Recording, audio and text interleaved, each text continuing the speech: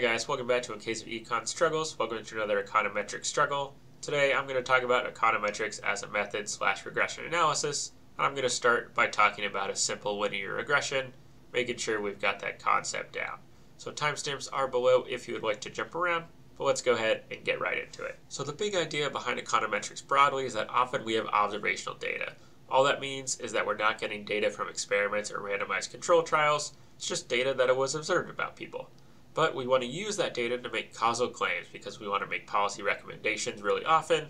Sometimes we'll do more of descriptive work, but really most of the time in econometrics, we're trying to make causal claims and say that something causes something else. And so the way we make these causal claims is econometrics or regression analysis. I talk about a lot of econometric tools in my other videos on causal inference, but this is sort of the background for those regressions that you see in those videos. This is sort of the nitty gritty econometric stuff. And the most basic econometric tool that we have is this regression, is this simple regression. So I'm going to talk about the intuition first and sort of how we get to this OLS or this ordinary least squares regression. So in a regression, in a super simple regression, what we're trying to do is we've got some outcome and we're trying to figure out how this treatment variable or this independent variable x affects y or our outcome. So maybe in a really simple example, our treatment is just the number of cats that you own, and our outcome or our y is just going to be your stress level from like 0 to 10 or something. And so what we're going to say is the impact of x on y that we measure, we're going to call that beta. That's going to be our regression coefficient when we regress y on x. So if I just continue that example, we've got some observational data here. You've got seven people. We know how many cats they own. We know the reported stress level from 0 to 10 we're trying to think about what is the relationship between the number of cats that you own and your stress level. What is that coefficient of regressing y on x? Well, from these numbers, if we assume that we've got a linear relationship that between y and x, then what we're going to have is we can draw a line that relates the number of cats to your stress level based on these points.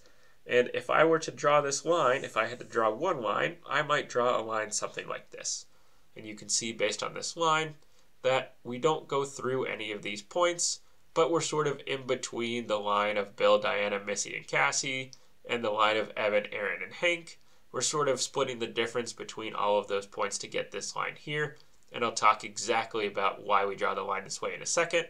But for now, this is called an ordinary least squares line, and this is what we got. Now, if we're assuming it's linear, then we could write an equation something like this, where we could say that your stress level is some intercept or some common number to any row in alpha plus our regression coefficient times the number of cats that you own, where of course this is going to be your intercept right here. This is going to be alpha, and the slope of this line is going to be beta, and that is how we can get some sort of predicted value for, based on the number of cats you own, what we would expect your stress level to be. So let me talk a little bit about how to get these coefficients mathematically, then I'll talk about why we draw the line this way and how exactly we choose the fact that this red line is drawn in this way.